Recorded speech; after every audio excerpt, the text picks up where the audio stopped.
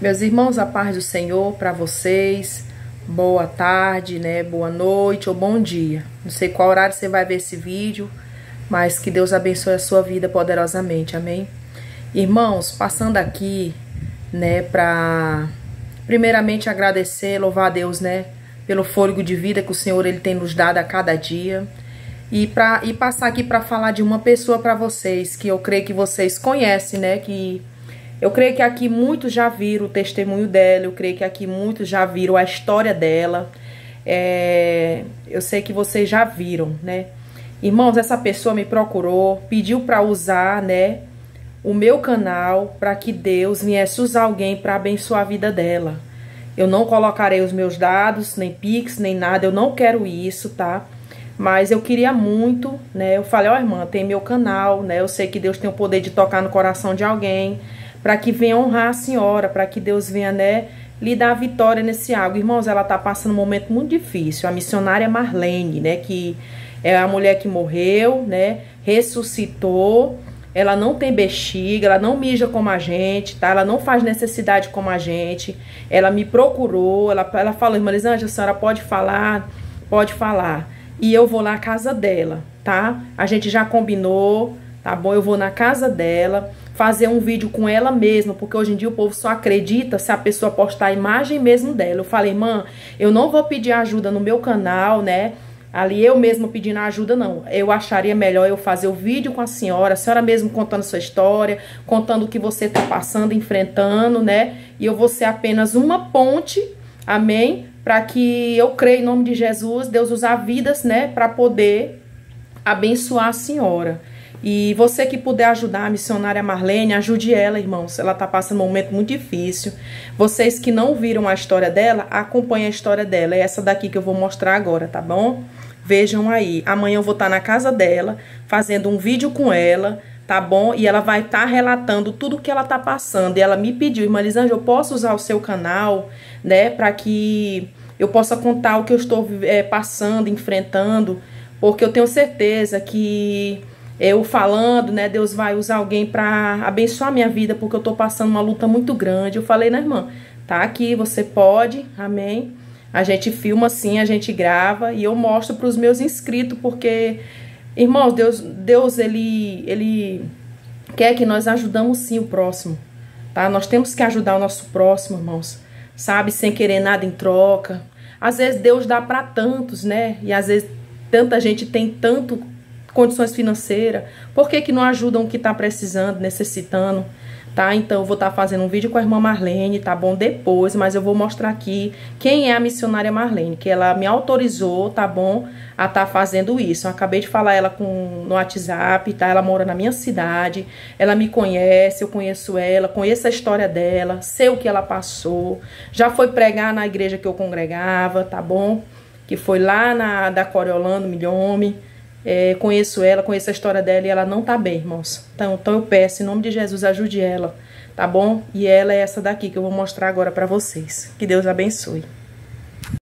Não há tempo de nós estarmos desapercebidos. É tempo de arrebatamento. É tempo de pregar salvação e vida eterna. É tempo de pregoar que Jesus está voltando. Ele está às portas e bate. E o que nós temos preparado para quem será? Yarás, Rabash. Ela sumandará caçúbia. Como você está se ele te convidar hoje?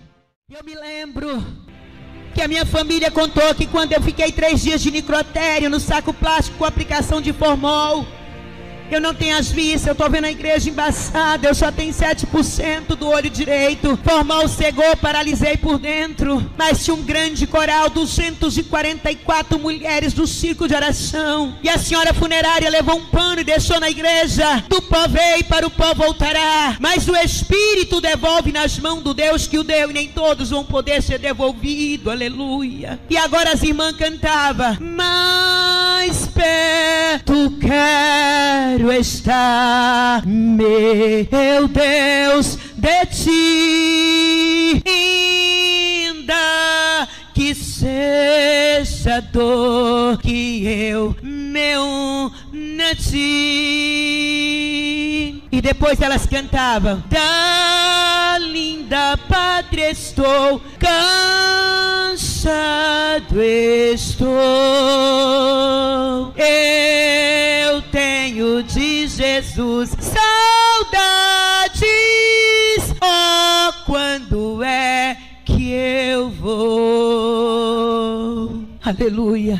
Junto ao trono de Deus preparado a cristão um lugar para ti. A perfumes a gozo exaltado, as delícias profundas dali. Tinha ali, tinha ali, de seus anjos fiéis rodeado numa esfera de glória e de luz, junto a Deus nos espera Jesus. Meu pai viu passar no Jornal Nacional o meu corpo no necrotério. Ele foi com uma funerária buscar. Chegou lá, eu fui levada ao ML para ser arrumada e colocar num caixão. Quando eles cerraram tudo aqui para tirar tudo o resto que ainda tinha dentro. E a igreja ficou cantando, então o corpo chegava duas e meia da manhã na cidade de Ariquemes, Rondônia. Mas quando o médico legista ali, mais três doutores e uma enfermeira me arrumavam, situação muito feia. Quebrei bem pouquinho, 35 ossos do corpo, da cabeça, os pés. Estou aqui com quatro vértebras da coluna fraturada. Quebrei a sacra, quatro vértebras da lombar e abri a lombar e quebrei quatro vértebras da coluna vertebral. Esbagacei. Para nada serviu um lixo, bagaço. Mas o dono da vida estava ali. Eu tinha 30 dias que tinha aceitado Jesus como meu salvador e ele apressou meu pastor. E eu tinha batizado nas águas. Quando mergulhou que levantou, recebi o batismo com o Espírito Santo. Eu sou filha de um ex-padre vindo da Alemanha. Nasci ali na capital do Brasil e me criei ali. Meu pai era muito devoto de santo. Foi batizado pelo padre Cício e odiava crente. Minha mãe queimava os crentes com água quente. Mas Jesus tinha uma chamada na minha e na vida deles. E Jesus ia usar a eu como instrumento de salvação da minha família. Então o Senhor apressou meu pastor para me batizar nas águas, me deu o batismo com o Espírito Santo. 30 dias de crente passei por essa tragédia. 35 fraturas da cabeça aos pés. Eu louvo a Deus por não ter bexiga, usar uma sonda de platina. Eu louvo a Deus por estar quase cega, porque meus pais partiram crente na pessoa bendita de Jesus Cristo. Os alemãos são uma família muito devota e rebelde. Meu pai era um alemãozão de 2 metros e 10 aleluia, muito incrédulo. Mas Jesus pegou e disse: Eu vou pegar o que você mais ama e vou tocar esbagaçou. Ele tem todo o direito. Ele é dono da vida. Então ali, ele chorando muito, o corpo no ML, ele chorou, chorando muito lá pro lado de fora. A igreja preparada para receber esse corpo. Jesus agora entra no ML e disse: "Geme, filha minha". Eu não enxergava, meus olhos estavam para fora. Quebrou tudo isso aqui, estava pendurado. Estava horrível. Quando Jesus disse: "Filha minha, geme, porque eu quero te usar na terra dos viventes". Eu não estava sentindo dor. Três dias de necrotéria alimentando formiga, aplicação de formol. Estava sentindo dor. Eu comecei a gemer. Quando ele manda, tem que obedecer, eu sou obediente. Comecei a gemer. O médico legista agora olha para aquela enfermeira e diz: tem algo errado. Ela diz: não tem nada errado. Ele disse: ah. Ele diz: que há, doutor. Essa mulher está toda estourada. O senhor acabou de encerrar ela, abrir. Estamos tirando tudo para encher, colocar enxerto para apanhar no caixão. Ele disse: é sangue. Ela disse: que sangue, doutor? Tá todo o sangue lá. A polícia está com a filmagem do local do acidente, uma poça de sangue muito grande. O resto está no saco plástico na lixeira. Ele disse: é sangue, sim. Olha para o meu avental. Jesus estava colocando sangue nas minhas veias. Não ficou um médico daquele dentro do ML, correram tudo. Mas ao correr, Jesus fez eles se tropeçarem um no outro. O médico legista passa o bisturi na boca, pegou 28 pontos, ela quebrou o tornozelo, ela era macombeira, prepotente, arrogante. Ninguém gostava daquela enfermeira ali. Depois fui saber da história. Porque até então eu só ouvi o que meu Deus falou, não via ninguém, não mexia. Toda quebrada, aleijada, troncha, as pernas viradas para trás. E meu pai perguntava lá fora o que está acontecendo. Aí o diabo manda um terremoto na Bolívia, passou 200 metros por baixo do chão, rachou todo o paredão do ML e do João Paulo II, do Hospital de Porto Velho. E o povo correndo, correndo e passou e vamos, seu Cícero, que o prédio vai cair. Ele disse: Minha filha está aí dentro. Errado, não precisa o senhor gastar com caixão. Ele disse: Não vou correr, minha filha está aí dentro do ML. E Satanás estava furioso porque sabia que Deus ia me colocar de pé para repreender as astutas ciladas do diabo. Aí médico nenhum me aparecia para arrumar e aquele sangue foi correndo para fora. Jesus colocou sangue redobrado nas minhas veias. Aí veio dois médicos, um da presbiteriana renovada, outro da batista renovada, para fazer minha cirurgia, para me ajeitar, para tirar pau, caco de vidro, para me fechar. E não perceberam que eu estava com cinco vértebras da coluna fraturada, quatro só da vertebral. Ele disse: Nunca vi um caso desse. 35 anos de medicina, nunca vi. Não tem lógica isso. E eu ouvindo, eu ouvia tudo. Ele, Jesus não mandou ficar surda de novo. Só mandou eu ouvir e gemer. E eu gemia sem parar. Mas eu ouvia tudo que eles falavam. Vamos apressar, porque está com hemorragia. O outro disse: não é hemorragia, não. O médico legista aplicou sangue nela. Não, o médico está em coma. Não tem como. Falei, ele entrou em, em coma, está no UTI. Médico legista. Jesus foi tratar com o médico lá no UTI. E Jesus pode tratar com crente rebelde aqui, lá no socorrão. Se cuida. Ele não gosta que brinca. Então nós temos que ser original. Nós não pode ser falsificado. E aqui tem gente que precisa perdoar e pedir perdão. O perdão é coisa importante. Eu sei que ali me arrumaram, costuraram os pontos dessa largura um do outro. Socaram lá no UTI, fiquei lá. Três meses e meio de UTI. Um dia, duas enfermeiras limpando, eu vou cortar, não dá para contar tudo. Duas enfermeiras limpando ali UTI, vai bater no que eu preguei nesta noite. Livro de Mateus 25. O Senhor usou uma faxineira, duas para mim. Eu sem mexer, muita mangueira, muito aparelho. Eu quero te dizer, eu estou aqui, mas eu tenho um buraco enorme no coração. É só Jesus para botar um bagaço, um lixo de pé. Jesus é especialista em reciclar lixo. O caco de vidro que entrou aqui, eu fiquei fincada com ele no chão. Tá lá nas costas. Teve que assombrar a medicina. Se eu fosse médico, eu, eu também estava em coma. Eu corria também.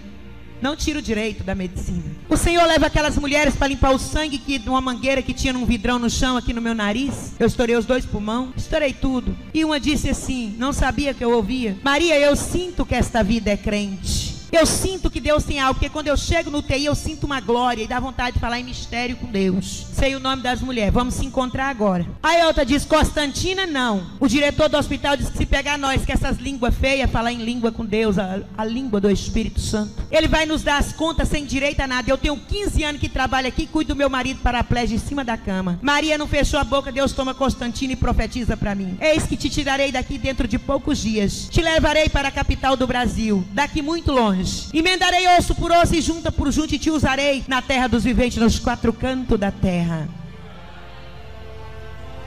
Vieram tudo correndo, o diretor. Eu chorei duas lágrimas. Ele tirou as irmãs e disse assim: Ela escuta, tá proibido falar qualquer coisa que ela ouve, ela tá escutando, ela tá chorando. Aí ele colocou o dedo, que eu tava com os aparelhos, e disse: se tu me ouve, dá um sinalzinho. O Senhor usou meus dois dedos para fechar o dele e soltei. Ele disse: Ela ouve. Oito dias cumpriu a profecia do Senhor. Quando é Deus que manda, compra. Agora, quando o profeta se usa, quando o profeta não é de Deus, é da carne, ele usa por sua conta própria, não vai acontecer. Você vai morrer de esperar sentada no banquinho da praça e o milagre não vem, porque não foi Deus que falou. Mas se Deus te prometeu, vai cumprir uma por uma as promessas que ele tem te prometido.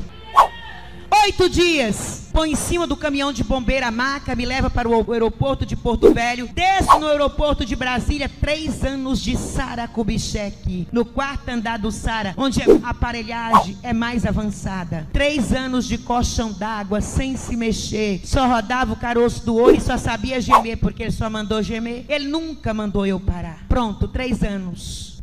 Um dia, Três anos, três meses e meio de hospital. Ele me devolve as minhas vistas e a minha fala. Primeira coisa que eu vi, um médico perto de mim e um relógio bem grande na parede, marcando duas horas e um minuto. Aquele médico olhou para mim e disse: Senta, eu irei demais com ele. Mas antes eu tivesse ficado sem falar. Eu disse: Não é sua mãe, não é sua filha, não é seu, sua esposa, não é seu pai, não é você. Você está tirando sarro porque eu sou aleijada, paraplégica. O médico levantou para cima e eu disse: Ele está doido e eu estou morrendo. Baixou baixou, travou as quatro rodas da maca, estendeu a mão. Eu vi que a mão dele era muito diferente. Eu disse: Não é médico, eu estou é no paraíso. Eu não estou mais na terra dos viventes, eu já estou é morta. Aí o médico disse para mim: Põe de pé. Eu disse: Não posso, sou aleijada, desenganada da medicina. Ele disse: Pode, tudo tu pode naquele que te fortalece. Pegou aquele esqueleto humano, colocou de pé. Mais uma vez assombrei o Sara de Brasília, a medicina brasileira.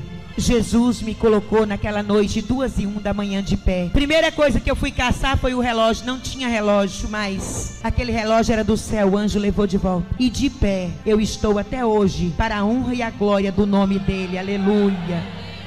Por isso não posso brincar de ser crente. Porque não tem segunda chance de devolver vida. Ou é crente ou não é. Porque é sim, sim, não, não. Na Bíblia não tem será, não tem talvez, não tem quem sabe. Ou eu sou ou eu não sou. Porque os mornos ele vai vomitar no último dia. Não podemos brincar, igreja. Você que não tem firmeza, você só vive se desviando. Faz um compromisso com Deus nesta noite, pelo amor de Deus. Apocalipse capítulo 20, versículo 15, está escrito lá: Aquele que não foi achado escrito no livro da vida foi o quê? Lançado no lago de fogo. O nosso nome tem que estar tá escrito no livro da vida do Cordeiro de Deus. Salvação é dom de Deus e é individual. E cada um tem que esforçar pela sua. O seu pastor, a sua pastora, não pode te salvar. Pode somente te ensinar o caminho do céu. Pai não vai salvar filho, filho não vai salvar pai, esposa não vai salvar esposo, esposo não vai salvar esposa. Porque cada um tem que buscar a sua. E a nossa salvação é tomada à força, é brigada contra as potestades, contra os demônios, para nós poder chegar no reino de Deus. Eu quero te dizer que meu pai e a minha mãe partiu cinco meses de diferença um do outro e dorme no Senhor, crente na pessoa bendita de Jesus Cristo. Deus salvou meu pai, minha mãe, os médicos. Deus salvou muito médico na capital do Brasil. Deus salvou sargento, policial, cabo. Deus salvou coronel, general da marinha. E Jesus tem salvado. Aleluia. Lá no hospital, eu ainda lá deitado em coma. Oito prostitutas saíram do prostíbulo. Pediu para deixar ver só pelo vidro. Quando viram e viu que eu estive no necrotério, ajoelharam no vidro. Ela levantou as mãos. Jesus, eu quero aceitar o Deus, aleluia, desta mulher. Hoje elas são mulheres do circo de oração. Oito mulheres que saíram do prostíbulo e aceitaram Jesus. Hoje são missionárias, mulheres de Deus que pregam a palavra de Deus.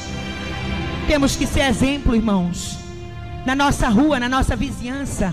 Temos que ser exemplo na faculdade, no mercado, na escola, porque a qualquer momento ele vai requerer o fôlego de vida. E como eu e você estamos, nós vamos como está? Será que vale a pena jogar aqui a sua chamada fora no lixo? Tem muita gente querendo fama? Não, irmãos. Não temos que ter o um nome escrito no muro, na calçada, não. Temos que ter o um nome escrito no livro da vida do Cordeiro. Ei, nós não temos que ser reconhecido pelo presidente da república, não. Nós temos que ser escolhido por Deus para morar no céu de glória. Amém?